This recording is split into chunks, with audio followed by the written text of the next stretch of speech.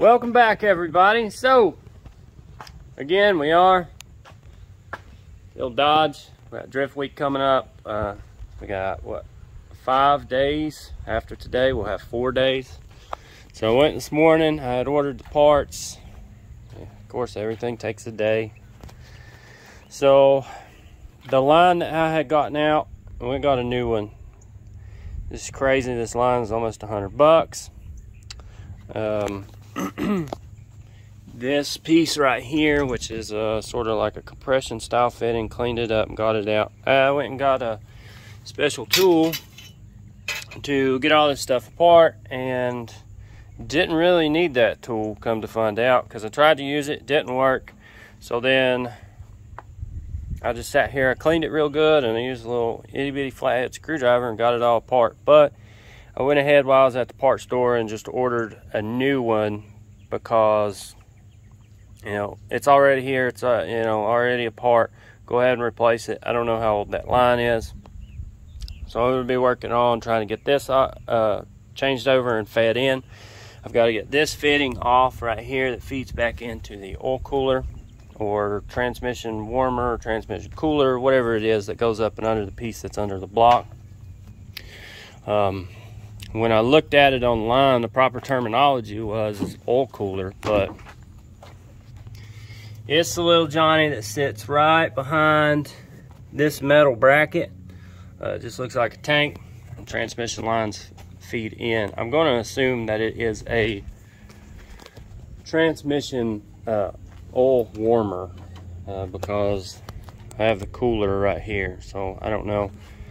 I feel like the block gets pretty hot, so that's the reason why they put it there. Um, so yeah, I'm gonna be working on getting all this stuff settled up and fished in tomorrow, to, or well today, but I have to go to work. The parts will be in. I go get them in the morning, work on getting this together, and then I gotta go get some tires changed. But if you're just now finding yourself to the channel, uh, go ahead and click that subscribe button. Uh, greatly appreciated.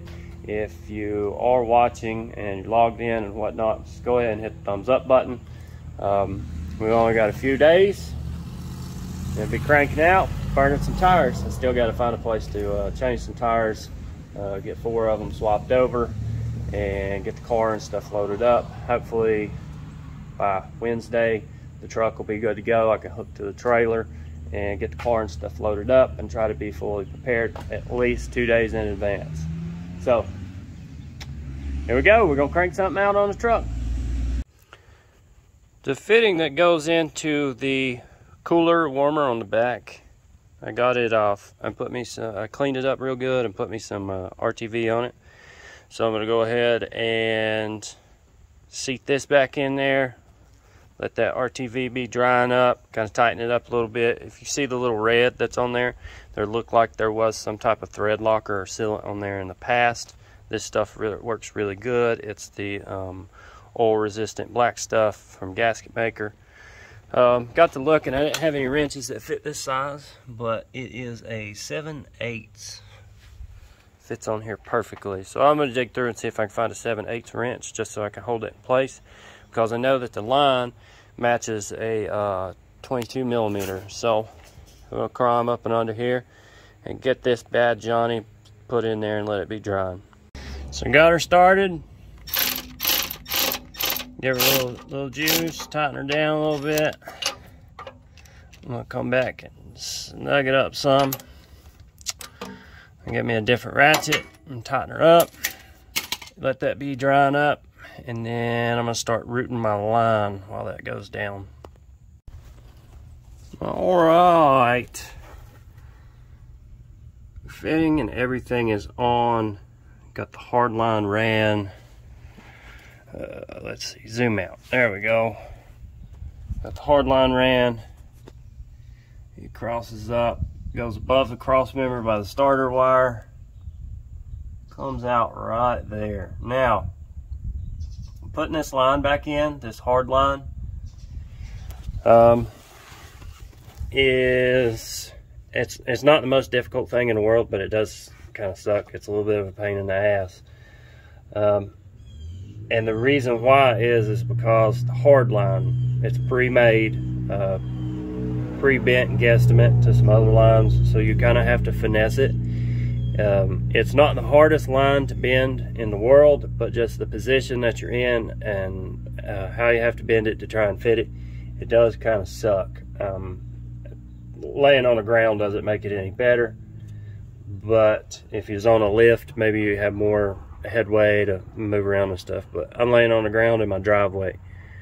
So the worst part of it was lining that up and since that's a brass fitting you kind of have to be careful uh, not to cross thread it because that is very possible um, so I got all that in there. I end up having to just coat everything in PB Blaster. I'd read on a forum you know people were talking about it was like yeah just sling PB Blaster all over the lines and stuff makes stuff a lot easier yada yada yada.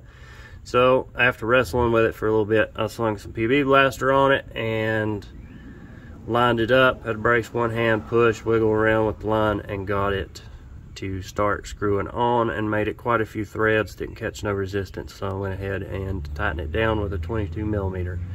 So, tomorrow, we get that line that goes on the end of that, and then hook it back up to the trans cooler and fill it up, and then see where we're at with the transmission. And we're back the next day. So I placed the order for this remaining piece, the high pressure hose that just slides in over the fitting. And there was two different ones, uh, two different prices. There was actually a pretty big price difference. Uh, and the only difference in the hose was is the other one was about four inches longer. Uh, pretty significant price. So I went ahead and got the shorter one, the cheaper one, because I'm going to end up uh, trimming it up anyways. So I've got fluids already in, put fluids in. Um, Going to work on putting this hose in, securing it, and then it should be good to start it up. Let the fluids run their course, make sure that I'm topped off, and then go for a test drive. And then the next goal to get ready, I think today, right now, right this moment, is Tuesday. Try to get me some um, tires, get my tires mounted and everything. Um, car should be good to go verify air in the tires on the trailer, uh, get the car on the trailer, and hopefully be prepared for this event three days in advance. So fingers crossed on that. I'm gonna finish getting the truck together. Whew, celebratory victory. Jeez. So I, I figured I expected this fitting, this line right here, which just presses on, clips on, two clips in the back and it would be pretty straightforward and easy, but I was wrong. I guess new stuff, tight tolerances. Uh, I even tried to put the old hose back on and it wasn't it either. So you see there's scuff marks and stuff. I had to grab a, a set of channel locks and a rubber mallet and just kind of ease it on there uh, best I could and then get both clips on the inside to come out and finally seat it so um, when it is seated, you do have this movement right here. It's a little bit of play. When you don't, it's not a good time. So yeah, I'm going to, I've already ran the line through here with the other line and I'm going to connect it back to this barb fitting that I had. Uh, we're going to square that up and then we're going to start her up and check for leaks. Lines and stuff all secured, all good to go. Going give her a start up peek under there and watch for any leaks.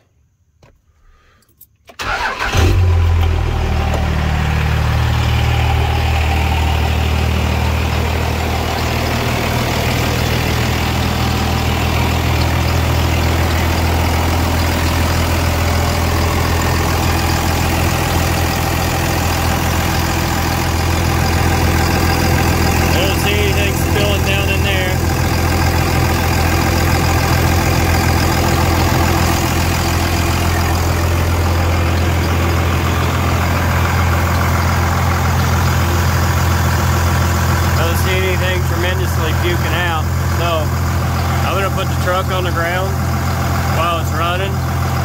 and check the fluid and top it off.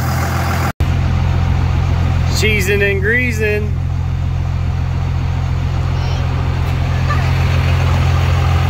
Went on our maiden voyage. Checked the fluids, we're good to go. I was sitting on like 4% fuel, so went ahead and took the opportunity to fill this thing up. Right to the gas station. We'll watch these numbers climb. Right, my back. I'll grab us a bite to eat. See how much fuel we put in here. Probably gonna be about a hundred dollars. But all systems are a go, vitals are good. So hopefully this lasts for a long time. stopped. Oh man. Jeez. That sucks. Well, the consensus is we're loaded up and ready to go. So, the car, I got tires mounted. Uh, shout out to my lady for getting my tires mounted while I was at work. And due to the whole process with the truck, I missed my opportunity to go change my tires. And she did it for me after work one day. So, bless her heart, she got that one backwards. But, well, I'll fix it when I get to the event. I don't really want to deal with it right now. Um, so, we need fuel uh, for the fuel cell and fuel for the, the gas jug.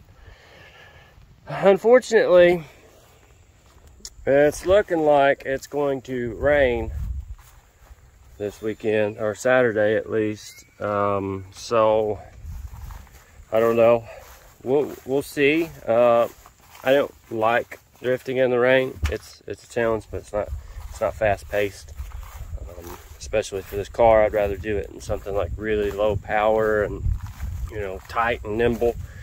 Uh, adds more fun to it, but regardless, I'm gonna go drift. You know, have some fun, chill the like the old school Chill Halley days. Hopefully, I know there's some people that ain't gonna make it that I wish that would, but trailer's loaded, car's loaded.